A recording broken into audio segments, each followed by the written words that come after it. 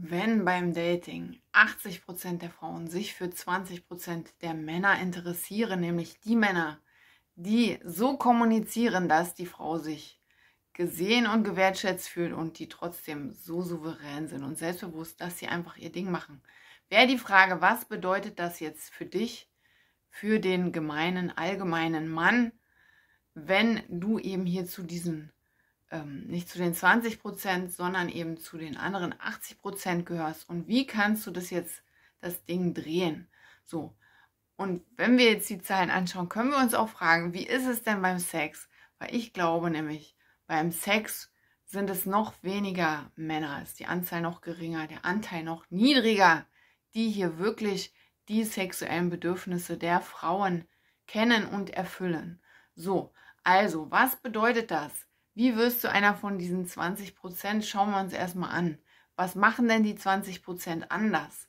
Ja, die sind eben attraktiv, die präsentieren sich so jetzt gerade im Online-Dating und auch sonst, dass Frauen auf sie aufmerksam werden.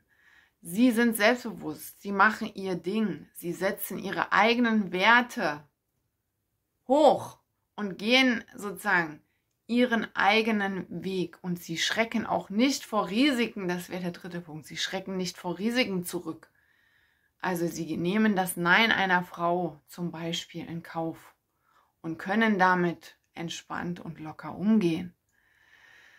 Und natürlich kommunizieren sie so, dass die Frau sich eben gesehen, gewertschätzt fühlt, aber natürlich auch, sie kommunizieren auch ihre Grenzen und ihre Regeln und geben der Frau eine Idee, wo es lang geht oder wie der Mann es haben will.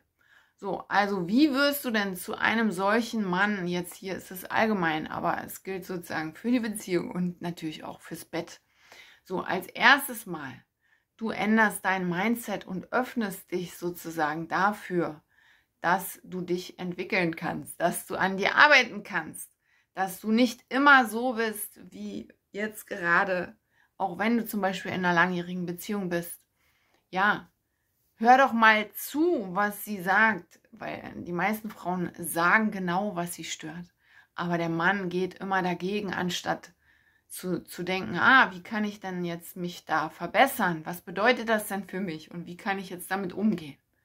So, der zweite Punkt ist, gehe in dein Selbstvertrauen, entwickle mehr Selbstvertrauen, Selbstbewusstsein und mach Dinge, die dich wirklich erfreuen, wo du dich wohlfühlst, wo du Kraft bekommst und wo du auch Sinn erlebst. Ja, also gehe dahin, wo es dich hinzieht und tue etwas Nützliches für die Welt, weil das wollen und brauchen wir alle. Es braucht die Welt, es braucht die Erde, dass die Männer hier auch ihren Teil beitragen. Also die Frauen ja auch. Wir dürfen das alle tun. So, meine Arbeit hier ist ja auch etwas, ein herzbasiertes Business. Und was du hier siehst, ist 100% echt. Okay. So, und drittens ist natürlich vielleicht die schwierigste Aufgabe, lerne sozusagen, was Frauen brauchen und wie du sie eben auf sie eingehen kannst und wie du sie auch steuern kannst. Weil das ist eigentlich der größte Punkt, den ich immer wieder höre. Ich habe keinen Einfluss auf die Frau die macht ja sowieso, was sie will.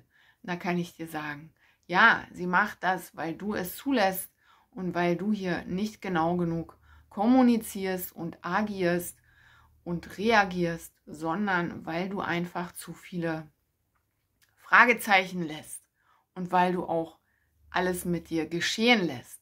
So, also hier der Wink mit dem Zaunfall. Du kannst es lernen, jeder Mann kann es lernen, einer von diesen hochattraktiven 20 Prozent zu sein.